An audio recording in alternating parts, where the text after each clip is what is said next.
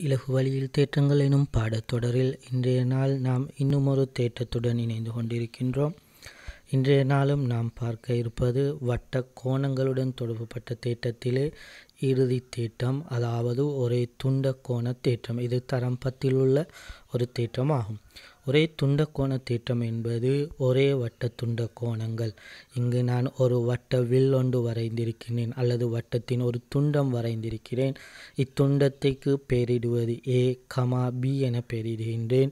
இத்துண்டத்தினுள் அமைக்கக்கூடிய அதாவது ஏயிலிருந்தும் பியிலிருந்தும் அமைக்கக்கூடிய கோணங்கள் அனைத்தும் நாம் ஒரே துண்ட கோணங்கள் என கூறுகின்றோம். ஒரே துண்ட கோணங்கள் என கூறுவதற்கான காரணம் இவை ஏபி எனும் வட்ட துண்டத்தினுள் காணப்படுவதனால் இவை ஒரே துண்ட கோணங்கள் எனப்படும். இத்துண்ட கோணங்கள் அனைத்தும் சமனானவையாக காணப்படும்.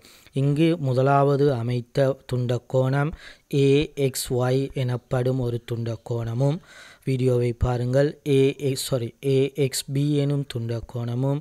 அடுத்ததாக நான் அமைக்கக்கூடிய துண்டக்கோணம் ஏஒய்பி ஆகும். அடுத்ததாக நான் இன்னும் ஒரு துண்டக்கோணத்தை அமைக்கின்றேன்.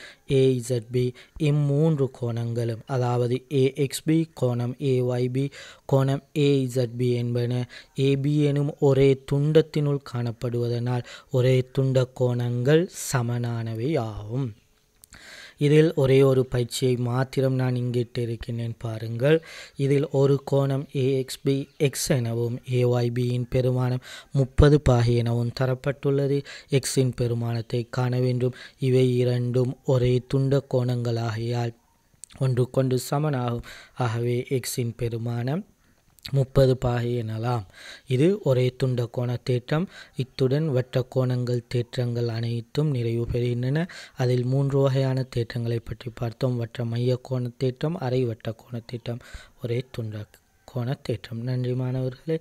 நீங்களும் வாட்ஸ்அப் மூலம் மின்னஞ்சல் முகவரி மூலம் அல்லது இ கல்வி எனும் ஃபேஸ்புக் பக்கத்தின் மூலம் எங்களுடைய வீடியோக்களை பார்க்கலாம். அனைத்து மாணவர்களுக்கும் நன்றி.